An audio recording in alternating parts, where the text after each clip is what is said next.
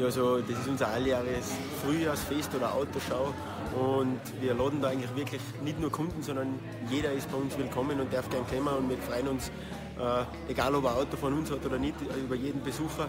Und soll da einfach ein bisschen zusammenkommen für alt und jung sein, ein bisschen eine Präsentation von unserer Firma und auch von unseren Fahrzeugen natürlich, aber genauso ein bisschen ein gesellschaftlicher Aspekt. Und